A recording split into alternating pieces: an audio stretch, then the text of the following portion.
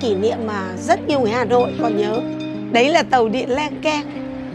Bản thân tôi và chồng tôi thì đều là người Hà Nội, thì hàng ngày là đi tàu điện từ phố nhà anh ấy đến phố nhà tôi. Khi nào thì cũng 9 giờ là phải đi về ngay, tại vì đấy là chuyến xe điện cuối cùng. Đấy là những ấn tượng mà tôi rất là nhớ. Nhớ cả về cuộc sống, tình cảm riêng nhưng cũng là những cái kỷ niệm rất là độc đáo và đặc biệt của Hà Nội.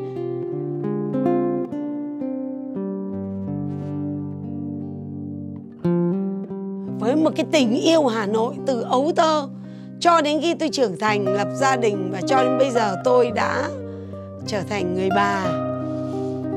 Tôi chỉ mong muốn rằng Hà Nội những cái nét cổ kính à, những cái nét độc đáo mãi mãi sẽ được bảo tồn gìn giữ một cách rất văn hóa.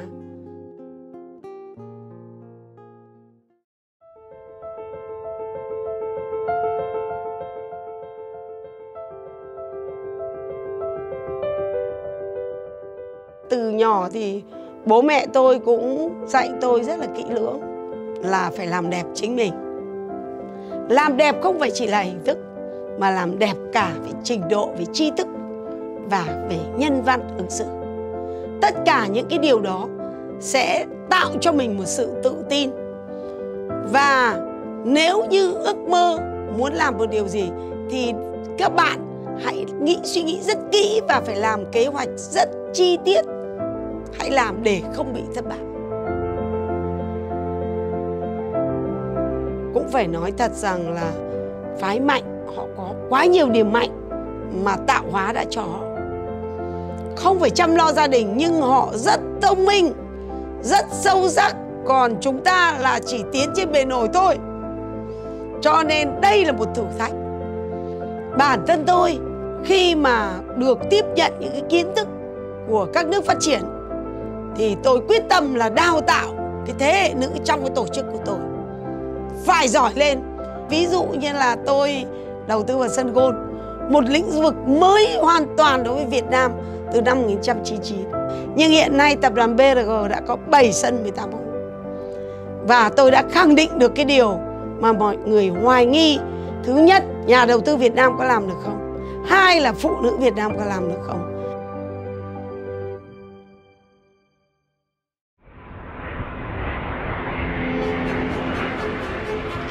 Đến Singapore, đi đến Tokyo, đi sang New York, đi London, đi Paris, đi tất cả các nơi.